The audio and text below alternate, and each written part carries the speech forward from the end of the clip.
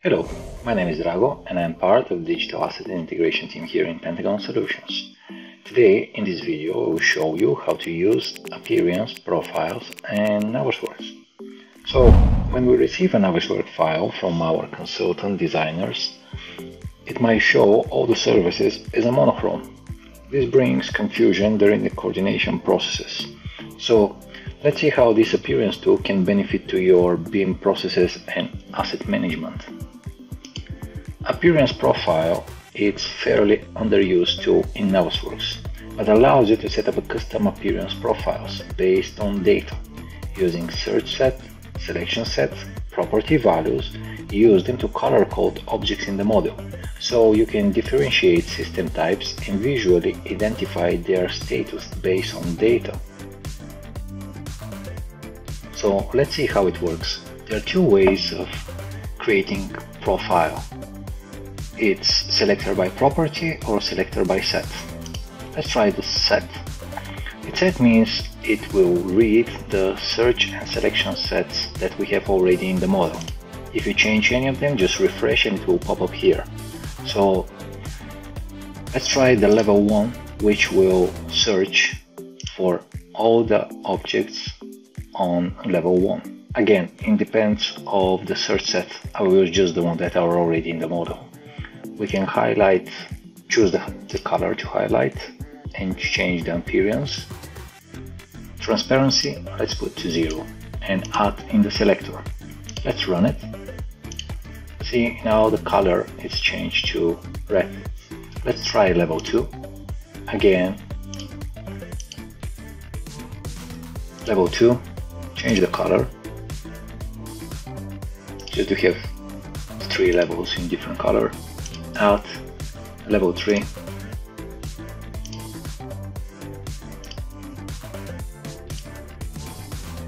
add again into the selector and run.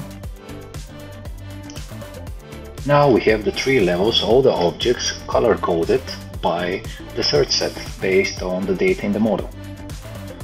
So let's try selector by property. By property means it will read the properties in the model let's say we want to color code uh, a flex duct which means we need to type the category element. A property will be category. And it will be equal to the value of the category flex duct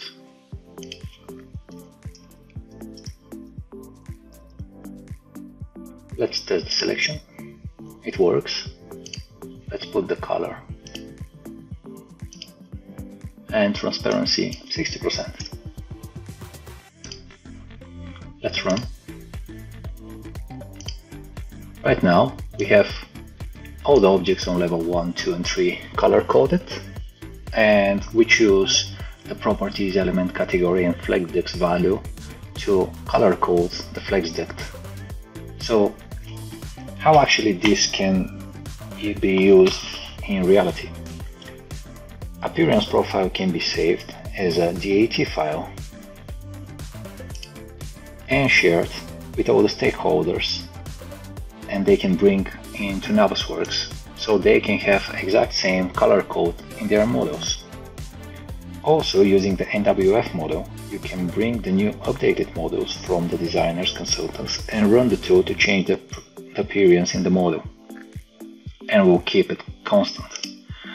If for any reason we need to undo the color coding and the work of the appearance profile in Navisworks, you can just select the model and reset appearance and we'll go back to a monochrome.